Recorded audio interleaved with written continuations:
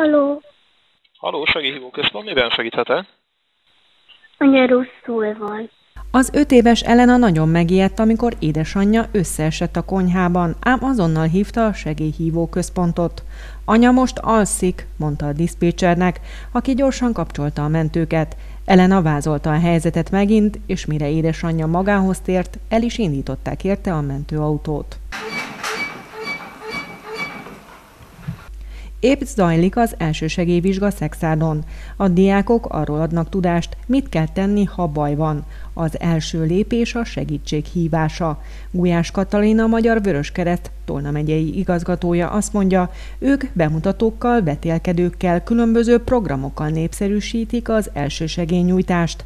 Három éve indították el a gyermekeknek szóló úgynevezett hősképző programjukat. Az elsősegélynyújtás elemeit ki is próbálhatták a gyerekek, Ugye ehhez a programhoz van egy hősképző jelmez, amit akár ők is fölvehetnek, és szemüveg, köpeny, tehát játékos is, látványos is, jobban megragad az, amit megmutatnak nekik, és akár megtanulhatják. Györfi Pál az Országos Mentőszolgálat kommunikációs igazgatója azt mondja, 1,2 millió esete van a mentőknek évente, ezek közül 30-40 ezer eset van, aminél életmentésre van szükség. Az életmentések mindig egy-egy segélyhívással indulnak.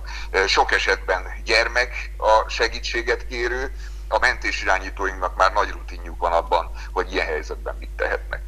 A mentők és a Magyar Vöröskereszt is arra hívta fel a figyelmet, életet menthet, ha minél koraibb életkorban tanulják meg a gyerekek a 112-es segélyhívót használni. A fiatalabb gyerekeknél, tehát alsó tagozatban, sőt obiban is eh, ahol lehet beszélünk, ha nem is az újraélesztés gyakorlatáról, hiszen azért a testi erő még mondjuk az ovisoknál hiányzik a melkas kompressziókhoz, de az életmentés szemléletét, a segélyhívás helyes módszerét, azt már akár ovisoknak is el lehet magyarázni.